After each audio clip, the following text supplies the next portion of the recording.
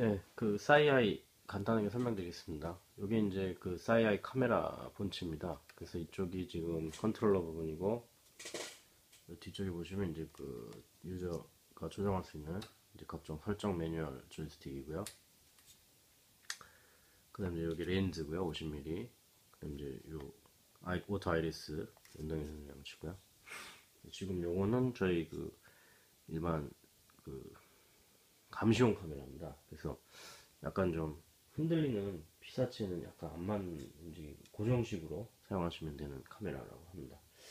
지금 선박에다가 요거를 지금 장착을 하려고 지금 계획을 하고 있는데 이 컨트롤 쪽에 그 카메라에 연결을 하려다 보니까 예, 이게 지금 아날로그 출력입니다. 요걸 갖다 이제 디지털로 변환해 가지고 변환을 해 가지고 PC에는 보시다시피 이제 화면이 나오는데 이거를 이제 WIRC에다 연결하면은 인식이 안 되더라고요. 그래서 그 다, 아마 그 칩셋 쪽 그 문제일 것 같은데 그걸 조금 이사님께서 좀 풀어주셨으면 좋겠습니다.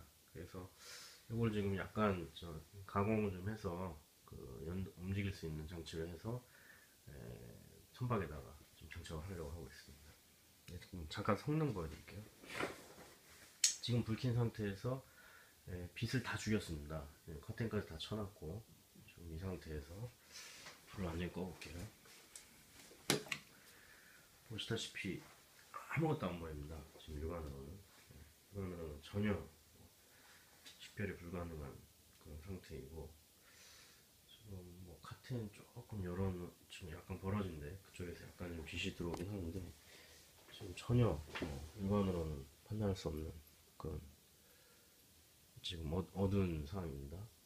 그래서 일단 그 사이아이 쪽 카메라로 찍은 영상을 잠깐 보여드리면 보시다시피 뭐 거의 전혀 문제없이 대낮같이 환하게 보이고 있습니다. 이게 네, 지금 육안으로 보는 상황이고요. 전혀 안 보인다. 앞에 뭐가 있는지. 여기 이제 그 사이아이 카메라로 찍은 영상입니다. 전혀 이게 적외선이나 무슨 그런 외부 조명 없이 자연광으로 감도를 키워서 이 정도까지 지금 식별할 수가 있거든요. 이렇게 지금 선박에 장착을 하시게 되면은 에, 특별히 그 보조 조명 장치가 없이도 웬만한 사물은 완벽하게 식별이 가능합니다.